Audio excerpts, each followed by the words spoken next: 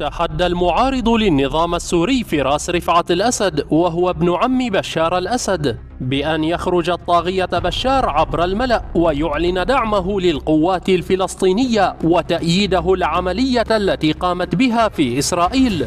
على اعتبار أنه رمز المقاومة والممانعة ولطالما خرج على السوريين ومن قبله والده بشعاراتهم الرنانة عن الصمود والتحدي ومحاربة الاستعمار دون أي نتيجة تذكر منذ عقود طويلة.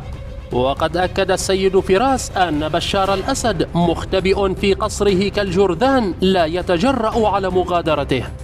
وقال فراس الأسد في تسجيل فيديو مصور نشره عبر قناته في يوتيوب أن بشار الأسد يريد سلته بلا عنب وهو يصلي ليلا نهارا كي لا يتم تسليط الضوء عليه وعن أسباب غيابه من قبل الصحافة العالمية. كما أكد فراس أن بشار الأسد يحرص على عدم دخول الذباب إلى الجولان في إشارة إلى أنه يحفظ أمن إسرائيل. وطبعا هذه ليست بالجديدة. فقد أمضى والده النافق حافظ الأسد حياته حاميا لحدود إسرائيل ولم يتجرأ بإطلاق رصاصة واحدة باتجاههم. وقال فراس أيضا في رسالة لبشار الأسد إذا لم تستعيد أرض الجولان في زخم هذه الأحداث فمتى ستحرك جيوشك؟ يا من تصف نفسك بالمنتصر على ثمانون دولة في الحرب السورية ويصفونك موالوك برمز المقاومة. وبالطبع فإن بشار الأسد لا يفكر أبدا باستعادة الجولان السوري لأنه يعلم تماما أنها ليست من حقه باعتبار أن والده الخائن حافظ الأسد قد باع الجولان لإسرائيل في صفقة رخيصة باتت مفضوحة أمام الجميع.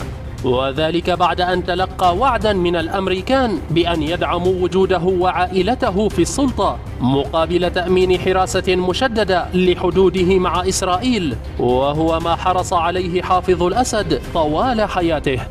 وانتقد فراس موالي النظام ورموزه الذين التزموا الصمت على مدار السنوات الماضية ولم يعلقوا على جميع الانتهاكات التي ألحقت بالشعب السوري من تهجير وقصف روسي وإيراني على مناطق المدنيين الآمنين.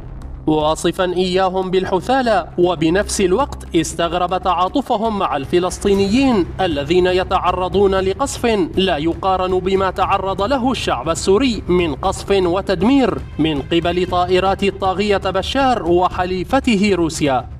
ويشار إلى أن فراس الأسد مواليد 1966 عمد إلى نشر تغريدات تتعلق بممارسات عائلة الأسد ووالده رفعت الأسد بشكل خاص كما يبدي مواقف مؤيدة للثورة السورية. وسبق أن هاجم فراس الأسد نجل السفاح رفعت الأسد والده وأخيه دوريد. إثر نشره تفاصيل مثيرة عن أحداث وانتهاكات وقعت أيام حكم حافظ الأسد لسوريا تحديدا فترة الثمانينات. اتهم فيها فراس شقيقه دوريد بمحاولة السيطرة على الحكم في سوريا ما أثار جدلا حول منشوراته على فيسبوك. فهل تعتقد أن بشار الأسد سيفوز في هذا التحدي مع ابن عمه ويطلق معركة تحرير الجولان؟ شاركنا رأيك في التعليقات